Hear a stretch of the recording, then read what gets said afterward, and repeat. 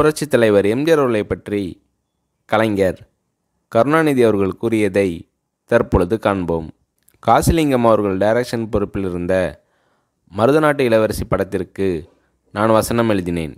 அந்த படத்தில் முதன் முதலாக கதாநாயகன் வேடத்தில் எம்ஜிஆர் நடித்தார். வி. என். ஜானகி கதாநாயகி. அந்த படத்தின் படப்பிடிப்பின் போது முகிர்த்த காதல்தான் அவர்களை கணவன் மனைவியாகவே ஆக்கியது. நானும் எம்ஜிஆரும் திருச்சியில் நடைபெற்ற ஓவியன் என்ற நாடகத்திற்கு எம்ஜிஆர் அவர்கள் முன்னிலை ஏற்கவும் நான் தலைமை ஏற்கவும் ஒரே காரில் சென்றோம். அந்த நாடக விழாவில் நான் தான் எம்ஜிஆரை புரட்சி நடிகர் என்று குறிப்பிட்டு பாராட்டினேன்.